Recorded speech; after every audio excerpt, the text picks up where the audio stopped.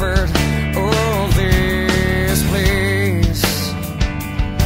Cause there's a hunger